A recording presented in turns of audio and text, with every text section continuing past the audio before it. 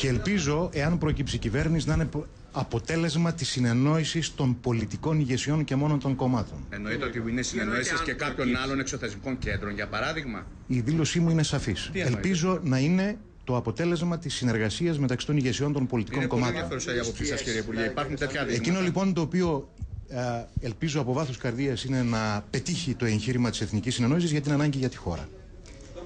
Σε ό,τι αφορά το ερώτημά σας για το εάν πρέπει πρώτα να παραιτηθεί ο κύριος Παπανδρέου, θα έλεγα να προσέξει ο αρχηγός της αξιωματικής αντιπολίτευσης, γιατί είναι σαν να λέμε εμείς ότι για να συνεννοηθούμε με τη Νέα Δημοκρατία πρέπει να παραιτηθεί ο κύριος Σαμαράς.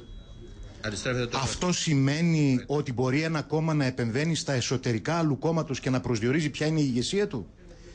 Να μην κινηθούμε σε λογικές οι οποίες είναι εκτός της συνταγματικής νομιμότητας Α αφήσουμε να κυλήσει ο ειλικρινής διάλογος για να καταλήξουμε σε ένα συμπέρασμα ουσιαστικό για την χώρα. Η Νέα Δημοκρατία, η Νέα Δημοκρατία να παραιτηθεί από πρόεδρος του Πασόκ. Ζητεί να παραιτηθεί από πρωθυπουργός. Θα υπάρξει κενό διακυβέρνηση. Υπάρχει.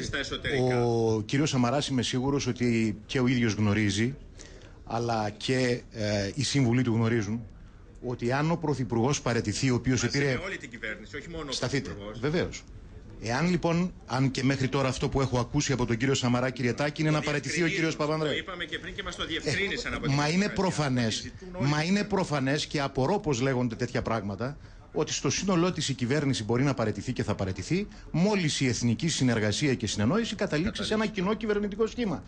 Αλλιώς ποιος θα διαπραγματευτεί, ποιος είναι αυτός ο οποίος θα κάνει, ποιος είναι αυτός ο οποίος θα κάνει τις συνεννοήσεις; Δεν καταλαβαίνω.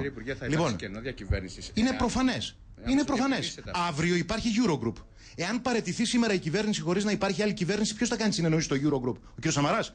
Εγώ του ελπίζω και εύχομαι, εάν θέλει να του δώσουμε την εξουσιοδότηση, κάτι που δεν έχει κάνει μέχρι τώρα, να πάει να διαπραγματευτεί αύριο. Αύριο, κύριος Στρέν, όμως, κύριε Υπουργέ, προειδοποιήσω ότι αν δεν υπάρχει κυβέρνηση εθνικής εταιρεία, είναι ανοιχτές οι διαδικασίες για έξοδο της χώρας από το ευρώ.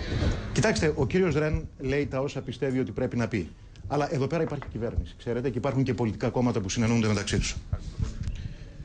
Νίκο, ακούσαμε τον κύριο Καστανή.